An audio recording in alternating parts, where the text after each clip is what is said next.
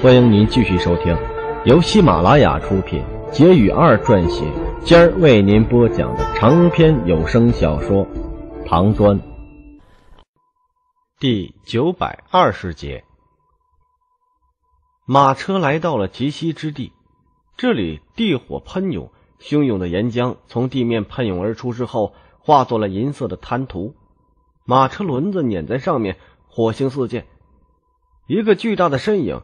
孤独的漫步在金属和火焰之间，高傲而圣洁。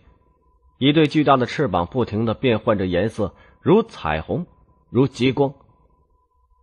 小苗变成神灵了。西北的那些人几百年以来疯狂的崇拜圣女，如果不是因为圣女牺牲了自己的身体，嫁给了唐人的勋贵，碎叶城早就被人遗忘在脑后了，哪里能够成为西北最大的城市？所以那里的圣女庙很多，香火旺盛的不像话。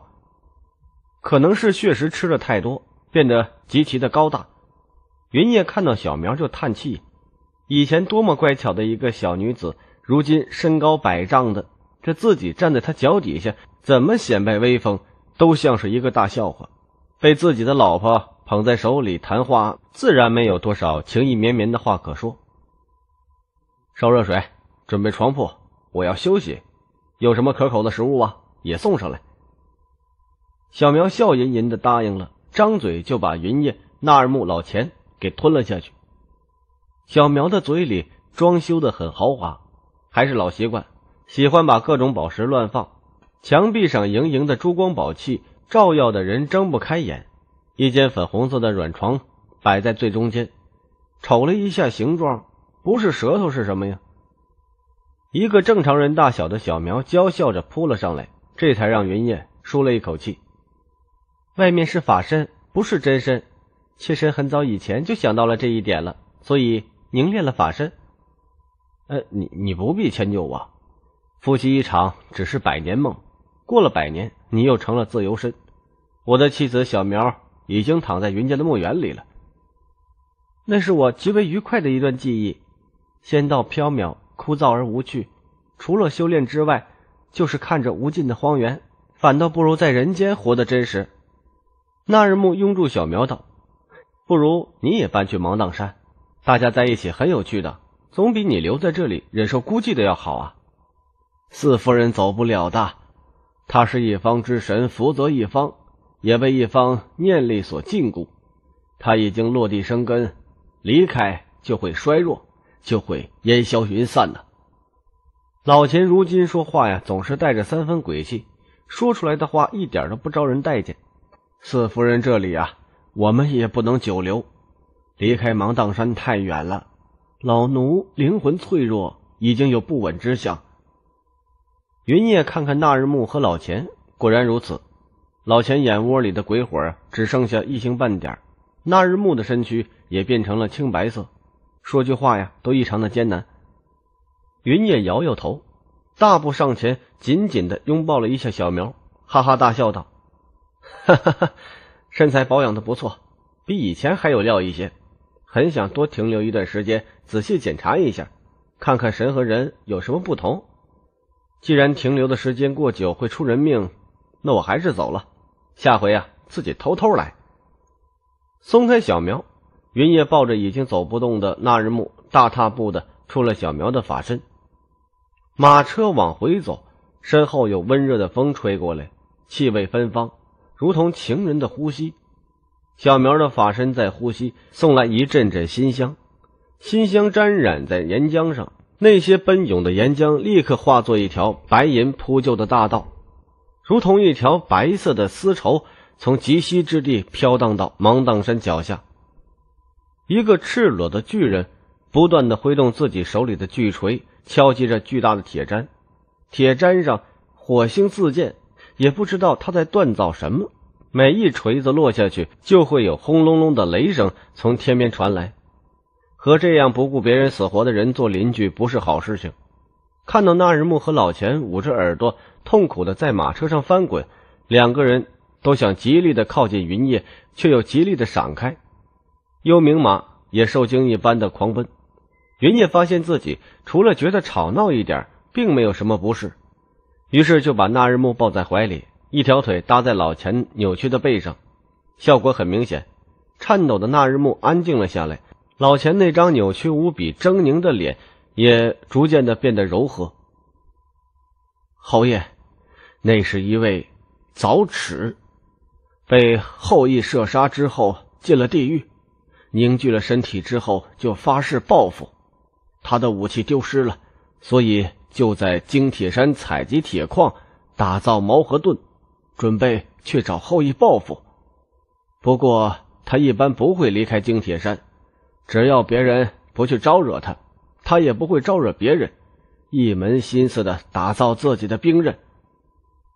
云叶伸长了脖子，仔细的看了看那位正在劳作的巨人，笑了一下，道：“爱一个人。”不管当初爱的多么炽烈，只要经历了上万年，那总会疲惫的；而恨一个人，一万年只会让恨意更加的炽烈。你只要看看那些最古老的传说，就会发现，愤怒这种事情一直都在延续。从祝融和共工大战，再到刑天、蚩尤和鲧，我们的祖先都是一些好战的，就没有一个崇尚和平的。即便是尧的女儿，在海边游泳被水淹死了，都要化作精卫发誓把大海填掉。算了，我们走吧。我看这位早齿先生是在享受自己的仇恨。什么样的武器需要锻造一万年呢？这家伙除了仇恨以外一无所有。马车进了芒砀山，旺财就跳上了马车，坐在马车上，用自己的蹄子指指脖子下面的口袋，非常的得意。这是他和云叶之间的一点小乐趣。不管是谁有了好东西，都要让另外一个猜一猜的。云叶笑吟吟的探手进了口袋，摸到青草熟悉的形状，他的脸色就变了。地狱里有一片能够耕种的粮食地吗？云叶毫不犹豫的就拿出一根草塞进了嘴里。这根草明明苦涩的难以下咽，他还是吃的笑容满面。旺财也很高兴，自家兄弟第一次喜欢上了自己的美食。以前呢，都是自己去将就人类的。苦涩的草无论如何也比地狱里的幽冥果好吃。虽然自己的五脏六腑已经有了很大的变化，但是只要开始吃地狱里非常难得的幽冥果时，他依然感觉像是在受刑。果汁会变成火焰，这是最大的麻烦。一面吃一面喷火。好几次，云叶仿佛能够闻见自己的胃被烤焦的味道。身为地狱里唯一一个需要吃饭的人，这是他最大的痛苦。为了不让别人为自己担心，只能咬着牙将旺财好不容易才找来的幽冥果吃下去。这是自己唯一能够吃下去的东西，也是自己唯一的力量源泉。既然草能在那里生长，那里就必定能够长庄稼。既然长出来的草能吃，那里长出来的粮食呢，也必定能吃。有过一次穿越经验的云叶，背包里如何会少了植物的种子呢？旺财背着云叶和那日木穿过一条狭窄的山谷之后，在那里看到了一块不大的平地，旁边的山洞里不断的飘出青色的水雾，落在那些长势并不好的青草上，青草的叶子上沾满了水珠。晶莹欲滴，连地狱里的冥兽肉都已经品尝过的云叶，自然不会在乎草叶上的水珠有什么毒素了。长牙兽的血液能够腐蚀掉石头，自己尝试着吃兽肉的时候也没有被毒死，除了躺了两天之外，没有什么不适。只是那些好不容易才烤熟的肉，自己的胃啊不接受，全部吐了出来。不大的玉碗里。很快就装了半杯水。地狱里有火焰湖，有黑油湖，有岩浆湖，还有最恐怖的龙涎湖，就是见不到淡水呀。这里有黄泉，有恶泉，有醉泉，有血泉，有枯泉，就是见不到能喝的泉水。奈何桥下的黄泉泉水泛滥，鹅毛扶不起的弱水发黑。云叶喝了一口甘甜的露水，就习惯性的把杯子递给了那日木，自己找了一个新的杯子继续接露水。那日木被自己男人下意识的举动感动的珠泪盈盈，不过想起丈夫不喜欢自己流红色的眼泪，赶紧擦干。虽然喝水这种事情对她来说没有任何的必要，她有血烟树的汁液就足够让身体保持充盈了。其实血烟树的汁液对她来说呢，也非必需品。丈夫没过来的时候啊，很多年里她都是用骷髅的样子。您正在收听的是喜马拉雅出品的长篇有声小说《唐砖》。喝了一口水之后，那日木猛地打了一个激灵，转手把水杯的水啊全部喂到张大了嘴巴的旺财嘴里，然后也掏出个玉杯，采集草叶上的露珠。喝光了水的旺财，尾巴像扫帚一样笔直的炸开了。他说不出自己的奇妙感觉，只知道这是好东西。没有手，所以没办法学那夫妇俩采集露水。他干脆吐出舌头去舔草叶上的露珠。水在原来的世界里啊，到处都是，所以没有人去珍惜。来到地狱之后，因为不需要水，所以更加的没人在意这东西了。只因为它太普通、太常见，常见的几乎让人忘记了它的存在。云叶需要水，他一直都知道，虽然很少很少，他发现自己还是离不开水。自己之所以要吞食幽冥果，就是为了等火焰烧过之后的那一丝清凉。三个人躲在山谷的角落里，偷偷的喝着水。那日暮呢，原本并不稳定的神魂，竟然奇迹般的稳定了下来。旺财火红的毛发，喝过水之后就变得鲜活了很多。不像以前那样，只是干巴巴的红色。云叶终于解渴了。自从上回老钱把自己带来的最后一点水泡了茶水之后啊，自己再也没有这样痛快过了。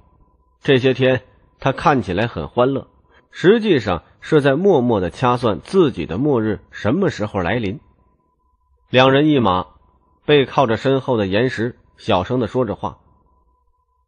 这里的草。之所以长得不好，是因为没有阳光。只要把洞里的那几块玉牌拿过来，就能永远的解决这里的问题了。那几块玉牌再亮几百年不成问题。当初大唐帝国玉山书院为了破解玉牌之谜，不惜引来天上的雷电轰击玉牌，结果能量都被玉牌给吸收了。后来又用了很多种法子来破解玉牌，也没有得逞。最后有一个败家子儿。竟然说把玉牌弄成粉末，他好仔细研究一下玉牌的分子结构。结果被我骂了一顿，就把玉牌收回来了，不让他们研究。万一玉牌不亮了，就拿去芒砀山的山顶，啊，让雷电轰击一下，那就能继续使用了。夫君，您的意思是把玉牌安到这里来？可是咱们家，你知道个屁呀！这里才重要。你夫君我啊。离不开水，我甚至怀疑自己也离不开食物。毕竟我好像还有生命的气息。这些天呢，把我给渴坏了。你以为我脑袋坏了才去吃幽冥果呀？不准流眼泪，血乎呲啦的好看呢。你看旺财多乖，他才是我云烨最大的福星。嘿嘿嘿，地狱里都能找到水啊！哈哈哈哈哈！旺财笑的样子就看不成了，还习惯性的。往外喷着白沫子，云叶夫妇抱着旺财，又笑又跳的欢庆了好久，才安静下来。夫君，水好像对妾身的神魂非常的有好处。妾身因为去了小苗那里，被他的神威伤了，神魂一直都不稳当。回来的路上又遇到了早齿，伤势又加重了一些。喝了水，好了许多。夫君呐，您在小苗那里。为什么不说要水要食物啊？他是神人，应该有办法的。您不但不说，反而转身就离开，为什么呀？云烨躺了下来，笑道：“谁说我没要啊？我见到他第一句话就是要他给我准备洗澡水，把好吃好喝的全部端上来。结果你看到他安排了吗？你夫君我在人世间活了四百多年，什么样的人情世故没见过呀？”小苗变成了神了，所以他的人性在逐渐的丧失。之所以会服从我，是出于一种习惯。当时你们的身子都不合适，没看见他眼神的变化。如果不是我当机立断的转身就走，我们几个恐怕会被他吞噬掉。我从他的眼睛里看到了欲望，那不是小苗眼睛里该有的东西呀。可是妾身只想牢牢的抱住您，旺财也喜欢跟在您的身边。我们就算不是神，也很厉害呀。云叶摸摸那日木的头发，又拍拍旺财的脑袋，苦笑一声，就站起身子，瞅着前面的一线天道：“世事沧桑啊，算了，不说这些事情了，咱们马上行动起来。旺财在这里给咱们重新开辟出来一个洞府，那日暮去找吴蛇和老钱，咱们搬家，以后啊就搬到这里来住。如果可能。”我不想出去了。芒砀山虽然好，那也是是非之地，我们最好藏起来，让谁都找不到。李二他们正在打仗，这场仗啊，都已经打了好几百年了，到现在都没有停歇。这事儿不关我们的事情，我们好好的窝在这里过日子，我还要好好的享受一下我久违的年轻身体呢。发笑的那日暮风情万种的瞅了丈夫一眼。就飘荡着出了一线天，旺财小心的避开那些青草，头上的独角转瞬间变大，在云叶指点的位置上，努力的用自己的长角凿开新的岩洞。日子一天天的过去，山谷里已经出现了一片别样的景象。三十亩地大小的山谷里已经是阡陌纵横，玉牌组成的太阳恰恰将这里照耀的如同白日。田地里的谷穗儿已经沉甸甸的低下了头，麦子也即将成熟。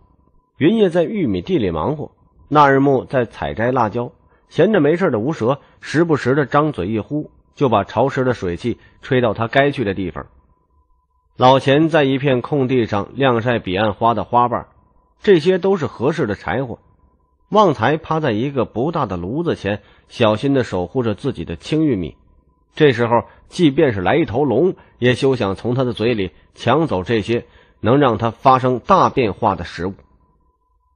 云叶有一个极为朴素的思想，那就是不管什么东西，是人也好，是神也罢，都要和天地进行能量交换的。吃东西、喝水，或许算不得是最高级的交换方式，无疑它应该是最适合人类的。即便是不能成为更加高级的一种生命状态，无疑吃东西会让神魔妖怪更加的像人。和见多识广的善英交流一番之后啊，云叶对魔神就半点好感都没有了。不管是所谓正义的还是邪恶的，都是一丘之貉。力量的强大没有让他们的同情心、怜悯心变得更加的丰富。力量的提升造就了无数的自私、狭隘的野心家。即便是李二的战争，都算不上有多么的正义。他只是不习惯受人管束而已，不习惯自己的利益受到侵犯。不管是谁伤害了他的利益，他第一个反应就是去造反。造反的甜头他早就尝过了，哪怕为之去死，他也会义无反顾。在他看来，人生不能活得高高在上。不能发号施令，和一具死尸有什么区别呀？云叶只想随波逐流，随着时间去做最无法预料前途的旅行。如今成了活死人，看样子能活很久，时间很多，用这些时间去看看不同的世界，享受不同的生活，那一定是极为美丽的。黑色的洞窟里无止境的往外飘着水汽。云叶原本打算进去探索一番，不过他很快就打消了这个念头。世上本无事，庸人自扰之，说的就是这种闲的没事找事的人呢。人家山洞好好的帮你侵认着庄稼，那这就是大恩德了。你还要冲到人家家里探个究竟？没有主人那也就罢了，如果有主人，谁会喜欢别人冲到自己家里去刨根问底啊？无论如何。水汽对山洞来说都是无用之物，即便是里面有一条汹涌的大河，云叶也觉得和自己无关。这些水汽已经足够种田了，那日木也不用拿火来洗澡了。现在整天赤条条的泡在水里，一点都不知道害臊。吴蛇上辈子当了一辈子的太监，对女人的身体早就做到无视的地步了。老钱作为一个非常合格的管家，自然不会去注意女主人的裸体，即便是看见了，那也就当是空气了。只有旺财似乎对女人的身体非常的感兴趣，没事干的时候最喜欢凑到那日木跟前说闲话。以前在人间的时候，那日木换衣服时啊啊不会避开旺财的，但是自从来到这里，旺财会说话之后啊，他就不肯让旺财腻在自己的身边了。洗澡的时候也会把旺财撵得远远的。各位听众朋友们，本集已播讲完毕，感谢您的收听。